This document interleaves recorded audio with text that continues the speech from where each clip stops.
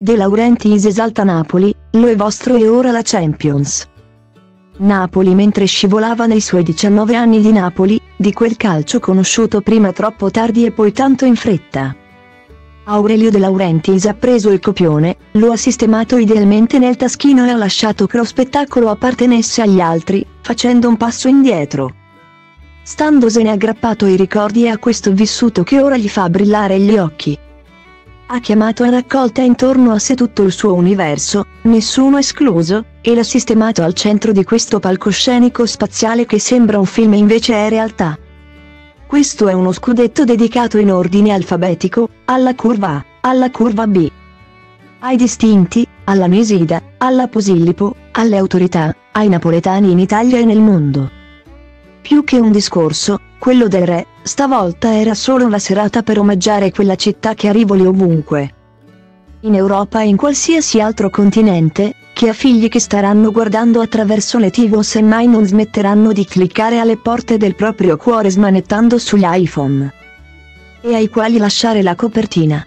Una vita nuova e tutta una vita nuova, rispetto al 2004. Quelle era le ore della disfatta e della ricostruzione, e poi la tecnologia stava nascendo. Si era impadronita del tempo ma mica come adesso, ora è diverso, non ci sono le macerie intorno. Ma che, c'è un senso diffuso di allegria contagiosa, che sommerge i detriti di quell'estate e pure i veleni più recenti. E funge da collante per un'altra epoca, abbagliante. Siamo orgogliosi di questo scudetto. Lo abbiamo voluto tutti. Peccato sia sfumata la possibilità di regalarvi la Champions a cui tenevo molto ma ci riproveremo. Il 4 maggio e poi ora il 7 sono le date cerchiate d'azzurro. Raccontano una Napoli diversa, entusiastica e pure entusiasmante, ha i colori di una luce che lasciano brillare le sue bellezze naturali e poi quel fascio tricolore che l'abbellisce ulteriormente. Cancella le rughe dell'attesa 33 anni e spazza via pure l'amarezza per essere uscite dalla Champions tutti assieme una serata piena d'energia, di felicità, e la serata in cui Napoli ha spazzato via le proprie incomprensioni. Ha smesso di farsi del male da sola, si è ritrovata sotto un solo cielo, ha condiviso emozioni dimenticate ed ha intuito che ci sarà sempre un domani. Pareva fosse tutto finito un anno fa, nel momento in cui andarono via Koulibaly e Insigne. Mertens e Fabian Ruiz, Goulam e Ospina, e invece il calcio alternativo, quello che hai progetti sul serio.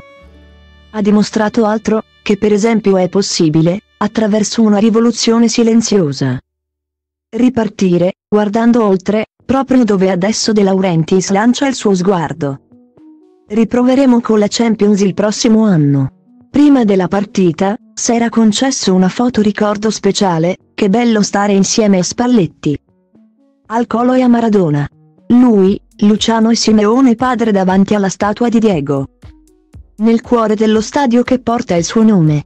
È una notte che va festeggiata senza avere il ticchettio dell'orologio a dar e nel lounge presidenziale della tribuna autorità c'è solo il desiderio di starsene tutti assieme. Appassionatamente, con le proprie famiglie, quelle dei dirigenti, quelle dei dipendenti. Quelle dei calciatori, degli staff di ogni ordine e grado.